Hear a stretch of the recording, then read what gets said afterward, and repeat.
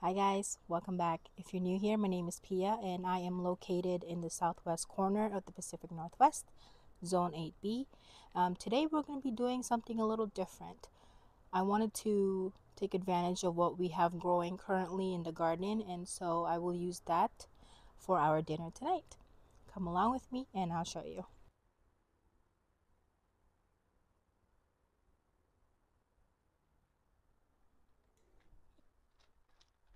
The main reason why I am making tortillas because we're gonna have tacos. And let me put my stuff down real quick. We are going to be using up our cilantro and our radishes. Put these guys in my pocket. Oops. Here they are So let's see. This one looks pretty big.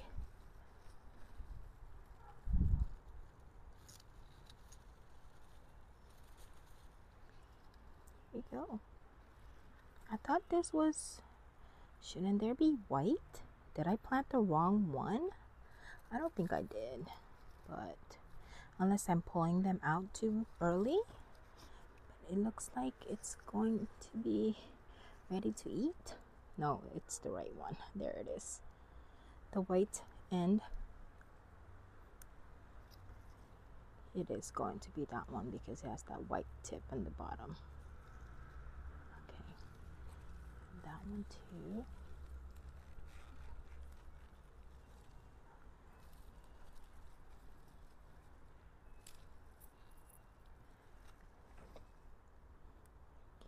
Okay I will need to, um, that one's still, I'm not going to pull this guy out because it's still tiny.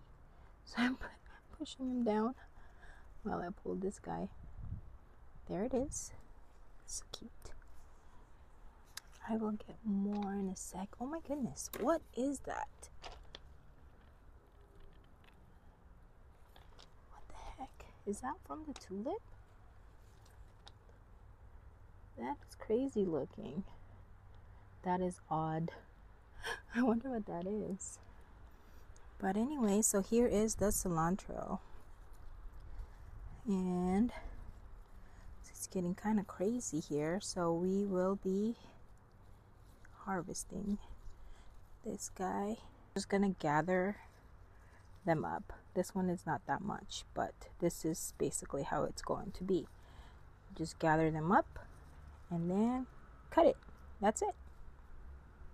So here is the harvest for today, the French breakfast radish and the cilantro that I will be adding on to the salsa that we are making. So I just cut them up this way. I see that there's more growing on that side, so that's great. And if you notice that there's like the little moldy things, that is for the slugs. I put that there because just in case they end up climbing up here, they won't eat up my greens, especially the bok choy, because they love that, and the lettuces. So just in case there's something there to deter them. We will be using this flat griddle, but since I will be making tortillas in a little bit, I want to put foil on top so that I could put in the tomatoes. Jalapenos. Well actually I got serranos and a couple of onions. We're gonna roast it a little bit. And then we will blend it up to make salsa. This is the flour that I use to make the tortillas and I would also be including some um, all-purpose flour in there. I'm doing about maybe um, I think a cup makes like a dozen but I'm not sure so I think I'm going to do let's see how much two cups look like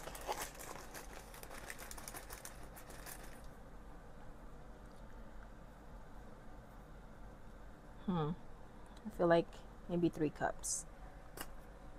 And then I will add one cup. That will make it four. So maybe not.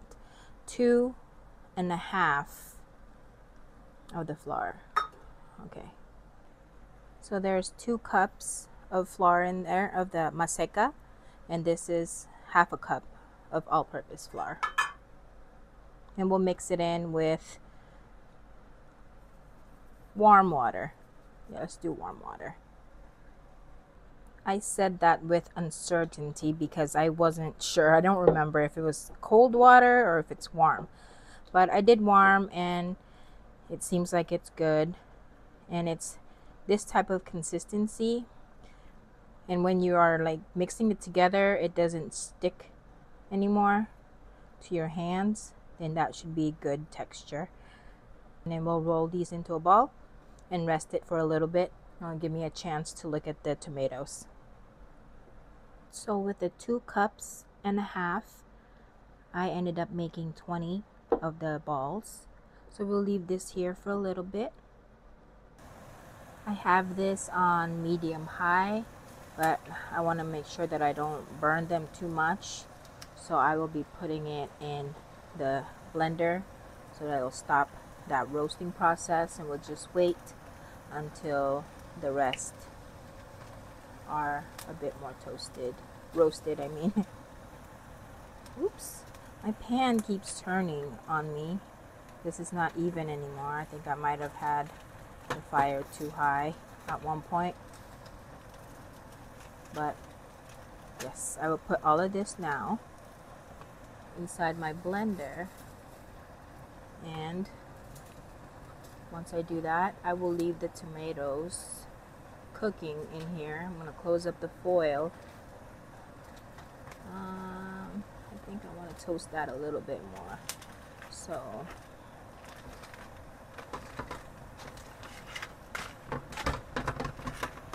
now it's kind of crazy right now, but I'm going to turn that fire off.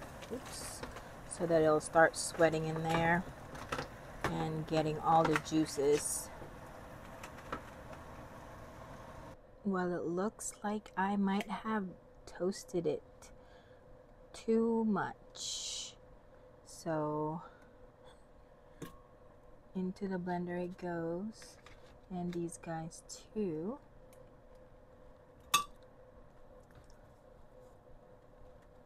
I already put the serrano peppers in there and we are also going to be putting the juice that was left over in the foil into the blender. And the only thing we need to add here is salt. And that's it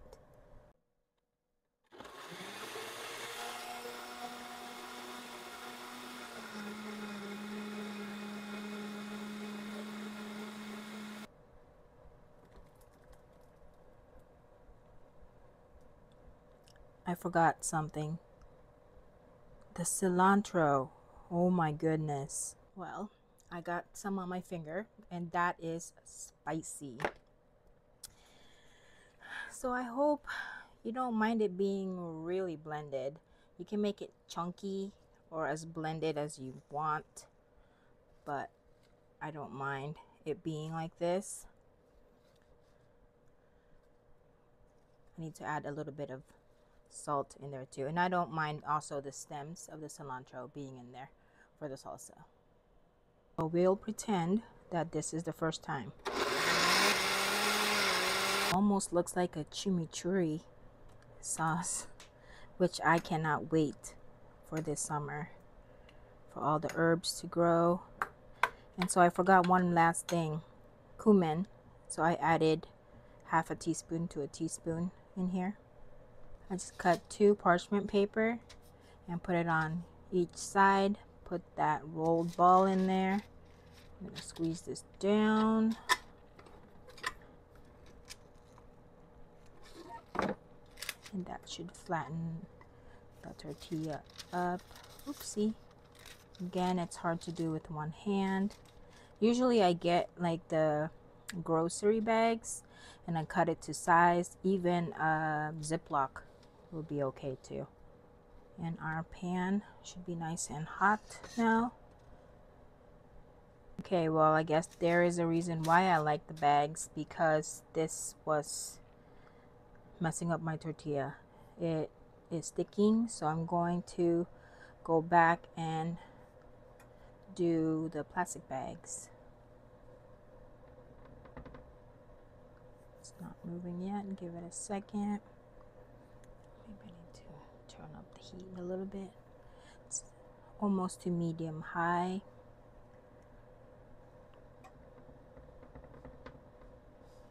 Okay now that it could be flipped I guess I can just do this. I don't want to burn my nail though. We'll finish this one up and then I'm going to cut up a piece of Ziploc. Usually I make four and so I have like a little line going. First one I lay out, then I flip it, then I put in another one and the very top would be ready to go and it's time for me to put in another tortilla over here. Let's see. Mm, oopsie, not yet, because there's, from how I was taught, there should be like a little brown stuff on the other side, a little roasting going on, and then you can flip it one last time.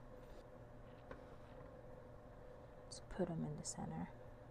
I didn't want to use my fingers because my nail might melt. I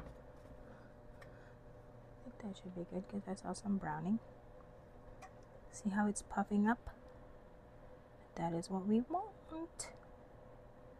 Still got it.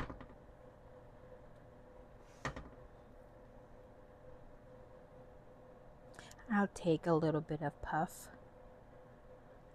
Usually the whole thing. Maybe I could have left it a couple of more seconds. So there you go. That should be good to go. It's been a while since I made homemade tortillas. So the first one, get some of that queso fresco and that salsa that we made.